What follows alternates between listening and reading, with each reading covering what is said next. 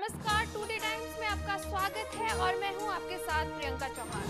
प्रस्तुत है today times की विशेष रिपोर्ट। लगातार 48 घंटे राज्य भर में स्थान स्थान पर हुई वर्षा और हिमपात के बाद जब मौसम ने अपने तेवर बदले तो लोगों ने राहत की सांस ली। दो दिनों में हुई वर्षा और हिमपात के बाद किसानों और बागवानों के चेहरे खिले हुए हैं।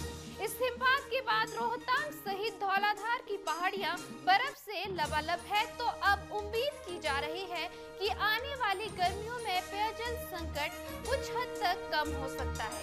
प्रस्तुत है संवाददाता ओमी राष्ट्रा की विशेष रिपोर्ट।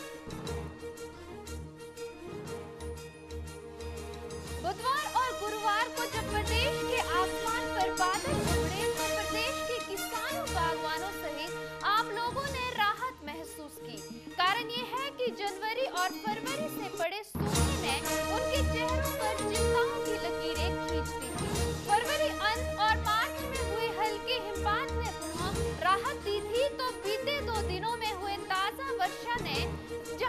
धरती का गला तर किया है तो वहीं राज्यों के ऊंचाई वाले क्षेत्र बर्फ़ से नदे